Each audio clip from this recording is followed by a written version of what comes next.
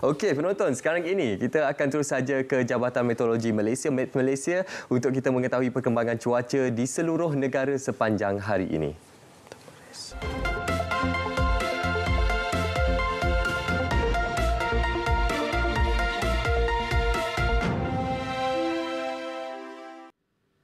Assalamualaikum dan salam hormat kepada semua penonton. Kita mulakan informasi cuaca pada pagi ini dengan melihat kepada carta angin semasa.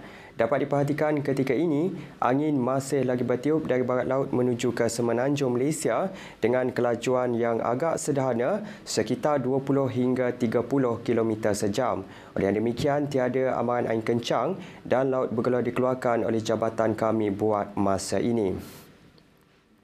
Baiklah kita beralih pula untuk melihat tinjauan cuaca semasa pada pagi ini.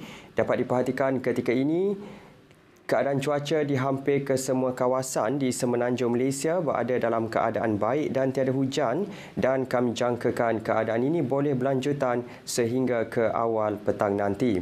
Bagi tinjauan cuaca semasa di Sabah dan Sarawak pula, dapat diperhatikan ketika ini hujan kini sedang berlaku di satu dua tempat melibatkan bahagian Kapit, Bintulu, Mukah dan juga Sibu yang mana kami jangkakan keadaan hujan ini akan beransur pulih dalam sedikit masa lagi. Pada sebelah petang pula, Met Malaysia menjangkakan hujan di satu dua tempat masih lagi berpotensi untuk berlaku melibatkan kawasan-kawasan di bahagian pantai timur semenanjung terutamanya di sekitar Kelantan, Terengganu, Pahang dan juga Johor.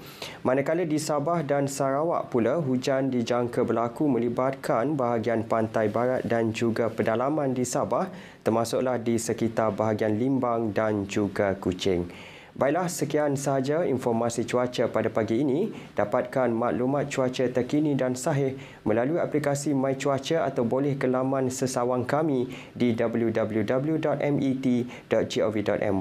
Sebelum berpisah, kita ikuti tinjauan cuaca bagi bandar-bandar utama di Malaysia. Sekian, Assalamualaikum.